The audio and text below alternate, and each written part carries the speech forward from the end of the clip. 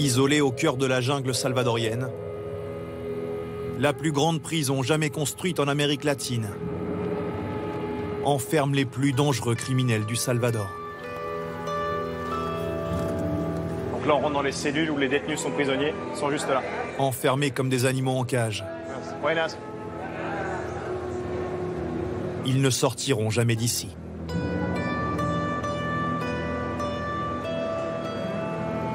Vous êtes conscient que vous allez probablement mourir ici Pour être honnête, oui. Assassinat, extorsion, prise d'otages.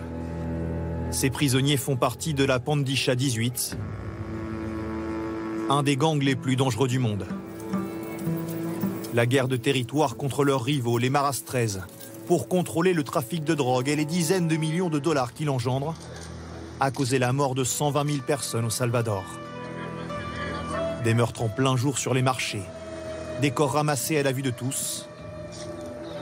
Voilà le quotidien auquel s'étaient habitués les Salvadoriens.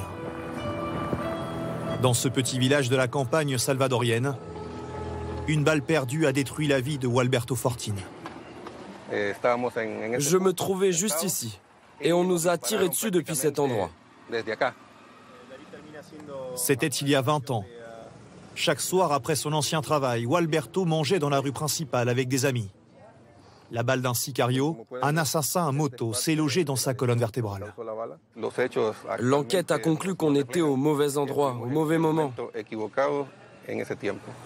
Le groupe d'amis a été confondu avec des membres d'un gang rival, victime collatérale de l'époque où les gangsters faisaient régner la loi, jusqu'à l'arrivée d'un homme, Naïb Boukele, le président salvadorien. Élu en 2019, l'homme de 42 ans a une obsession, éradiquer les gangs. Pour ça, en mars 2022, il instaure l'état d'urgence. Si on ne nettoie pas notre pays de ce cancer maintenant, quand est-ce qu'on le fera? Les gangsters se cachent comme des rats et ce n'est pas une insulte. Pour les rats, bien sûr. En seulement un an et demi, 74 000 membres présumés des gangs sont arrêtés dans ce pays d'à peine 6 millions d'habitants. C'est dans les quartiers les plus défavorisés, qu'on appelle ici des colonies, que les arrestations massives ont eu lieu. Hors de question, encore maintenant, de baisser la vigilance. Pendant cet état d'urgence au Salvador, tout le monde est suspect. Même si aujourd'hui le calme est revenu, chaque véhicule, chaque personne qui traverse cette colonie est contrôlée par les militaires. Les gangsters peuvent toujours revenir et ils peuvent profiter de cette accalmie pour le faire. Aucune place au doute. Les hommes doivent se déshabiller pour prouver qu'ils n'ont pas un tatouage qui pourrait les lier à un gang. Oublier une pièce d'identité peut conduire en cellule. Bien sûr, il y a toujours un peu de peur, même si on n'a rien à se reprocher. On ne sait jamais comment les militaires peuvent agir. Que deviennent les milliers de gangsters une fois arrêtés Nous allons le découvrir à une heure de route de San Salvador, la capitale, où se trouve une prison, unique en son genre. Buenas. Hola, somos los periodistas franceses de TF. Gardé dans un rayon de 2 km par des militaires. Nous voilà devant le SECOT, le centre de confinement du terrorisme. Entrer ici a demandé des mois de négociations. Une dizaine de miradors, des murs hauts de 10 mètres et un arsenal impressionnant. Ce n'est pas n'importe quelles armes que vous avez là, c'est des armes de guerre. Oui. Ça, ce sont nos fusils, avec des munitions de 5,6 mm. Derrière ces barreaux, 25 000 des plus grands criminels du pays. Leurs tatouages, les signes de leur appartenance à la Pandisha 18. Le symbole aussi d'une époque où ces hommes pouvaient commettre leurs crimes, sans jamais craindre les forces de l'ordre. Ils sont 80 détenus par cellule. Devant chacune d'elles, des policiers lourdement armés, présents 24 heures sur 24. Les toilettes, c'est un trou dans un coin de la pièce, sans chasse d'eau, juste deux bassins et un seau. Des conditions de vie, à la limite du respect de la dignité humaine. Non. Je vois qu'ils n'ont pas de matelas Non, ils ont juste une planche de métal.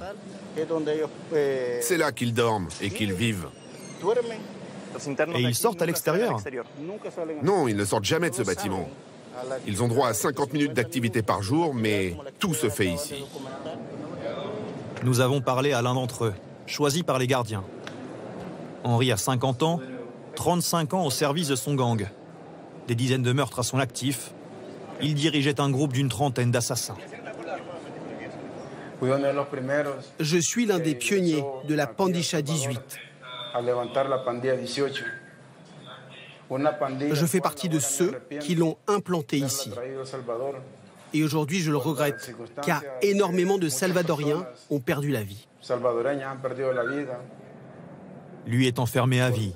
Mais dehors, la guerre contre les gangs est loin d'être finie. Il y a encore des membres de la Pandisha dehors Oui. Beaucoup Beaucoup. Selon une liste du gouvernement salvadorien, 10 000 gangsters n'ont pas encore été capturés.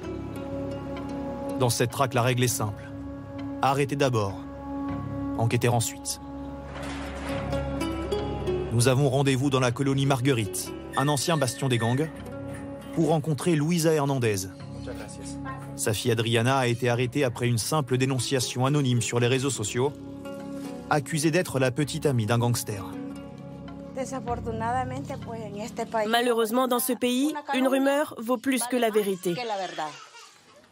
Dénoncée le 17 janvier 2023 et emprisonnée deux jours plus tard, Adriana n'a pas encore eu droit à un procès. Louisa a beau tout faire pour prouver l'innocence de sa fille, elle n'a même pas le droit de lui parler. En tant que mère, je ressens une douleur immense quand je vois qu'il traite ma fille comme un parasite de la société. Si je montre ma peur, je ne fais que renforcer cette dictature, car c'en est une. Depuis un an, le gouvernement salvadorien reconnaît que 7000 innocents ont été emprisonnés, parfois pendant des mois, avant d'être libérés. Plus de 200 personnes sont mortes au cours de leur détention.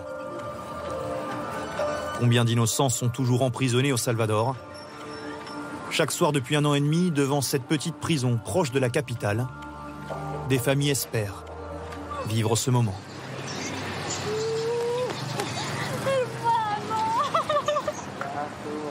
C'est fini, mon amour.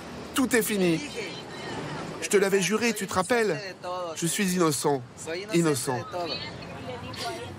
Eux peuvent se réjouir.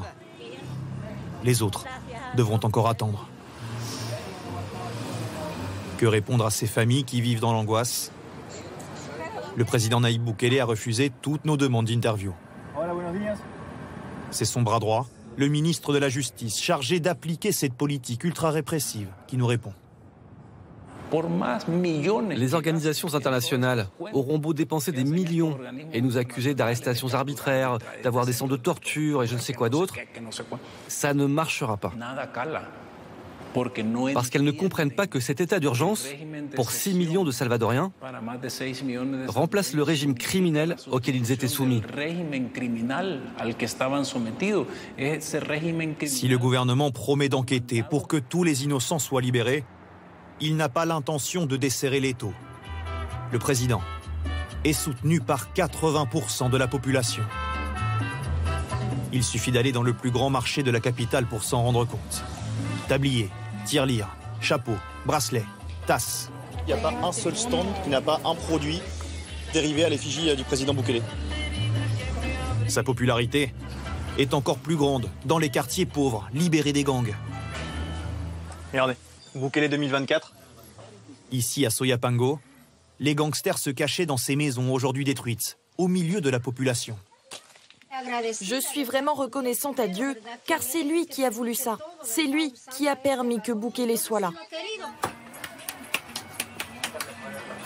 Cette décontraction dans le quartier n'existait pas il y a quelques mois. À chaque fois que Francisco livrait ses marchandises, il était raquetté. Oui, c'était dangereux, mais j'étais le seul accepté pour livrer ici. Personne d'autre pouvait venir, sinon il allait se faire descendre. Une vie de peur et de chantage. C'est sur ce terrain de football que Mauricio a été approché pour la première fois par les gangs, à l'âge de 16 ans. La Pandisha 18 l'a obligé à travailler pour elle, sous peine de l'expulser, lui et sa famille, de leur maison. Avec d'autres personnes, on nous avait envoyé acheter de la drogue dans une colonie voisine. Et d'un coup, on est tombé dans une embuscade. Ça tirait de partout. J'avais jamais vu ça, c'était traumatisant. Et là, j'ai compris que c'était pas du tout pour moi. Il fallait partir. Grâce à l'état d'urgence, le chef de la bande qui le faisait chanter a été arrêté et Mauricio a pu se libérer de l'emprise du gang en faisant du Salvador le pays qui emprisonne le plus sur la planète, le président Naïb Boukele a réussi son pari. Transformer le pays le plus dangereux du monde en l'un des plus sûrs aujourd'hui.